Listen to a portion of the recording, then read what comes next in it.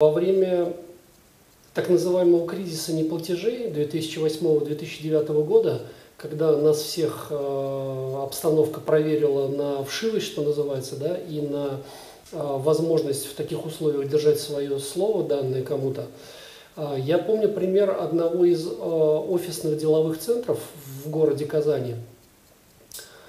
Из-за их умелой и рациональной тактики действий – они смогли не только сохранить э, в тот сложный период свою клиентскую базу, а, когда арендаторы просто не могли платить э, по много месяцев, да, просто был кризис э, платежей, да, кризис наличности, кризис расчетов через банковскую систему. Они не только смогли сохранить свою клиентуру всю, они смогли потом выйти из кризиса, еще и построить себе дополнительный офисный центр – это уже было, конечно, существенно позже, да, и наверняка там за кредитные деньги. А, и благодаря такой умелой политике у них сейчас совершенно нет вакантных площадей. То есть вот э, пустующих офисов э, как бы нет, есть очередь на освобождающиеся помещения. Соответственно, что они делали? А, они помогали, ну фактически брали на себя часть э, болячек своих арендаторов – не скажу, что прям э, как бы кредитовали, да, хотя на самом деле предоставить отсрочку месяц, два, три, это на самом деле кредитование, да, то есть это взять на себя финансовые проблемы а, своего партнера, да, своего арендатора. То есть они кредитовали, получается, своих э, клиентов.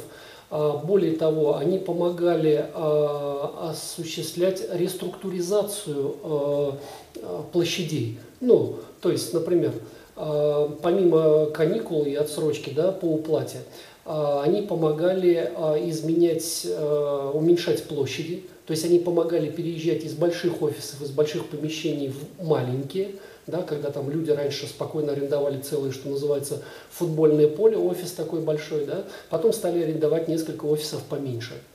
И это было рационально. То есть жирок э, небольшой как бы убрать, да. А, потом они помогали своим клиентам менять а, класс арендуемой недвижимости. Ну, то есть, а, там, не знаю, там А+,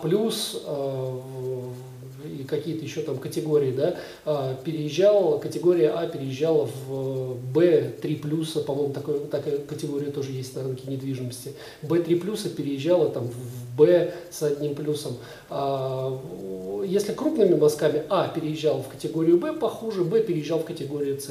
Еще, еще более простую по ценовой категории без особых изысков. Да?